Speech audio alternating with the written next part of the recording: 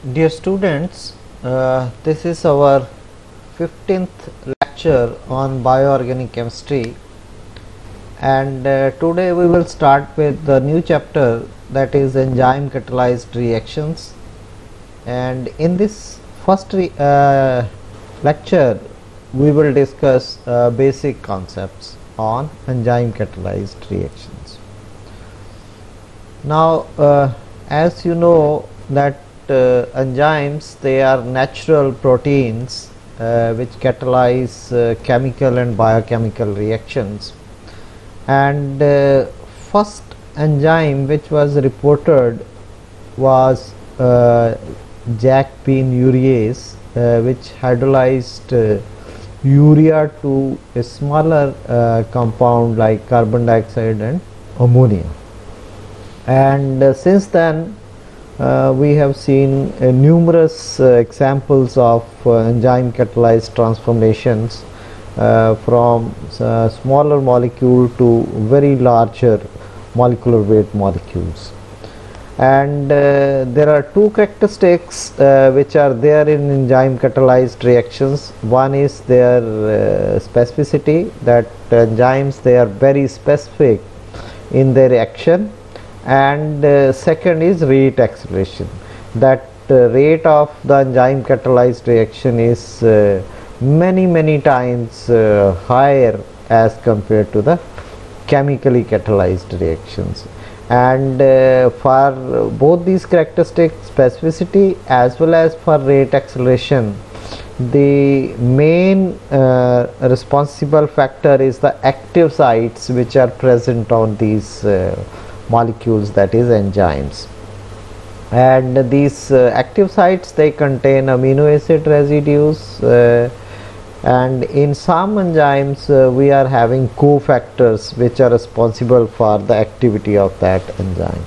So in general uh, enzymes uh, they function by raising the ground state energy uh, of any reaction and uh, secondly by lowering the transition state energy and the energetic intermediates which lead to uh, the f- main factors of uh, specificity and rate acceleration in these types of uh, enzymatic reactions.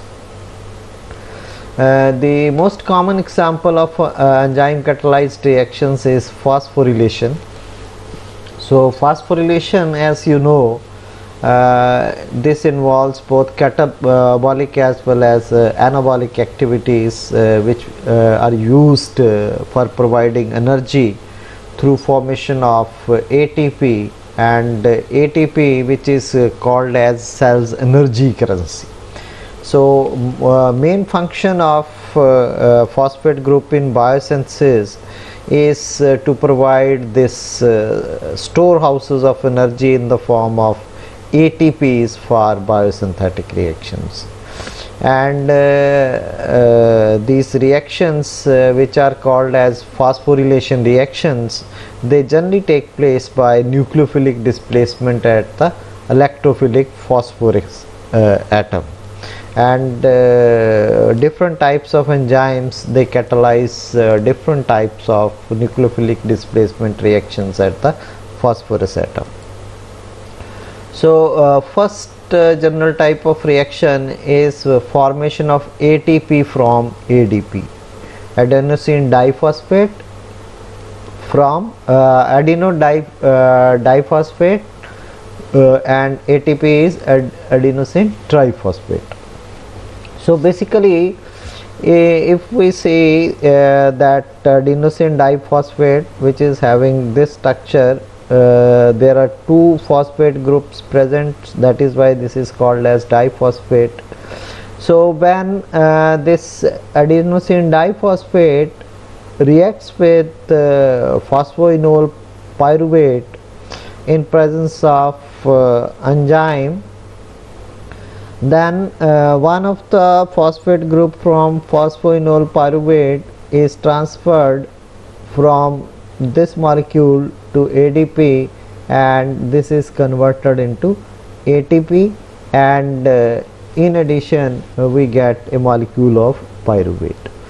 And the energy of this compound is high because enolic form is unstable tautomeric form. This enolic form is uh, unstable tautomeric form of more stable ketonic uh, form of the pyruvate so the kinetics uh, of this reaction is that uh, this reaction is highly exothermic uh, delta G0 for this reaction is minus 61.9 kilojoules per mole and uh, this uh, reaction can be coupled with the formation of ATP from ADP.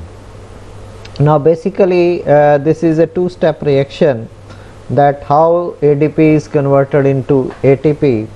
Uh, in the first step uh, the phosphoenol pyruvate this undergoes hydrolysis in presence of water as a nucleophile.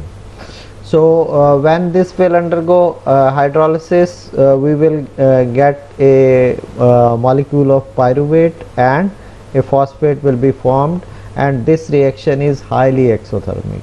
Uh, a, this much amount of energy is released during the reaction because this is an exothermic reaction. Minus 61.9 kilojoules of energy.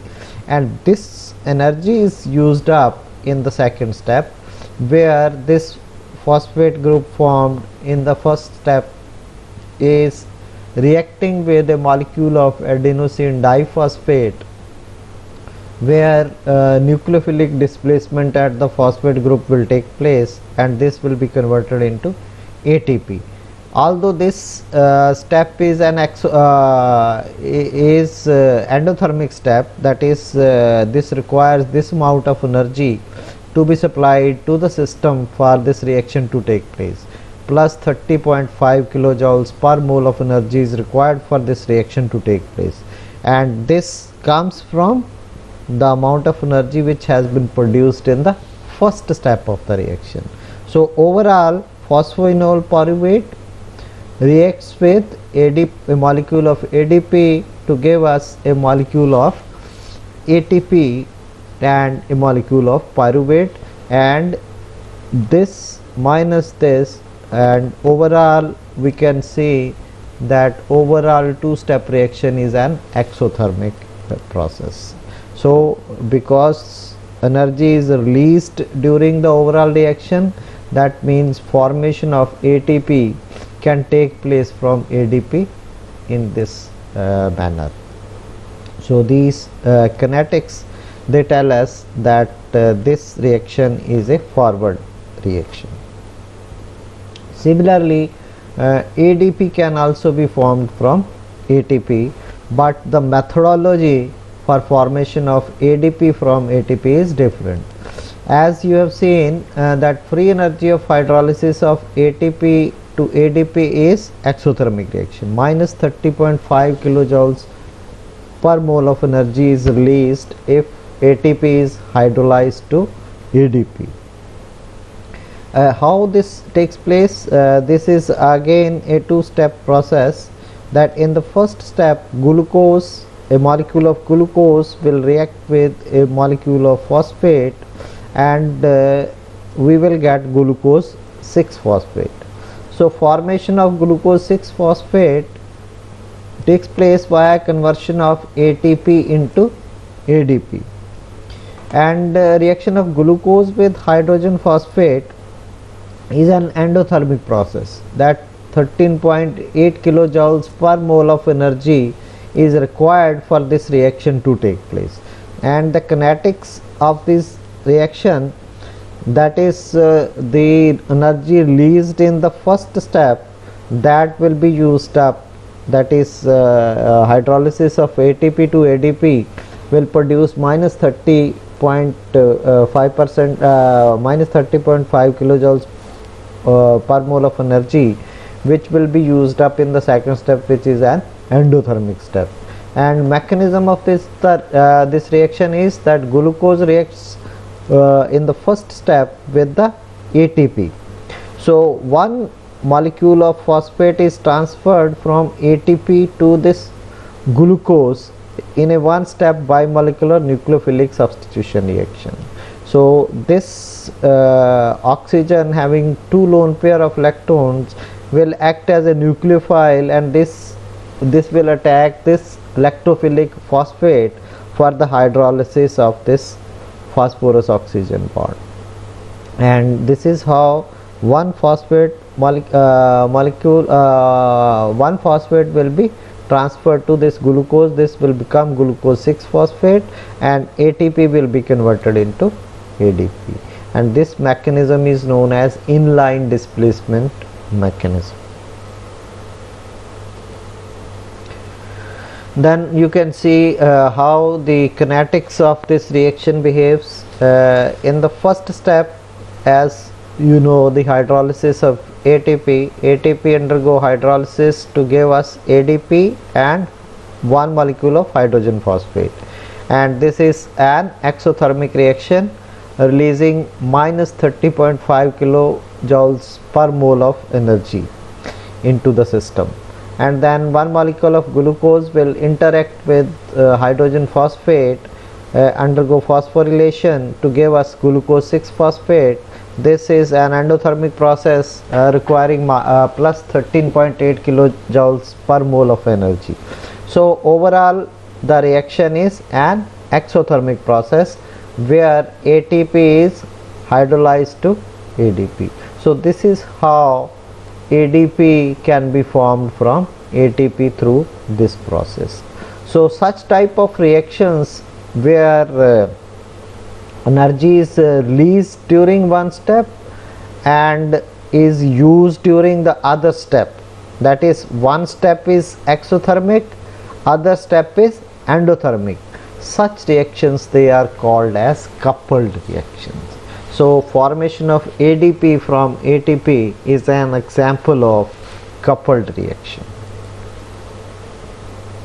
Then similarly uh, nucleophilic displacement at ATP can take place at uh, different uh, phosphorus atoms. This is say alpha, beta or gamma phosphate. So depending upon where the nucleophile attacks either at this that means hydrolysis will take place at this place. Then we will put, uh, get a diphosphate ADP plus a molecule of hydrogen phosphate. If attack takes place here then we will get adenosine monophosphate as the product and cyclic diphosphate will be formed. But generally ATP undergoes uh, hydrolysis very slowly because of the negative charge present on the oxygens. And because of the negative charge uh, present on the oxygens of the phosphate groups uh, this uh, becomes very unreactive towards the nucleophile. But however in case of uh, enzymatic uh, hydrolysis of ATP the active sites of the enzymes they get uh, bound to the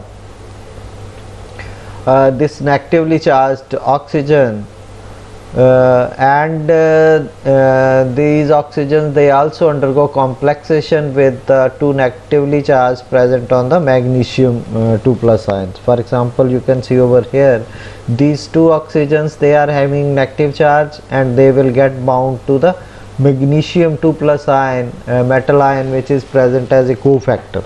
So uh, that means uh, these uh, negative charges present on this oxygen will be neutralized by this magnesium 2 plus ion similarly uh, on the enzyme if we are having say arginine as the active site then the Schiff base uh, present on this this will also neutralize the negative charge on this oxygen. So uh, by neutralizing the negative charge on this uh, these oxygens this ATP uh, hydrolysis of this ATP will become faster. So similarly this lysine will neutralize the negative charge present on this oxygen uh, with having a uh, hydrogen bond with this so as you can see the negative charge of all the oxygens that has been neutralized by different active sites or metal ions. So now these phosphor uh, phosphorus atoms uh, they have been neutralized and they can be attacked by a nucleophile very easily and ATP can undergo hydrolysis very fast.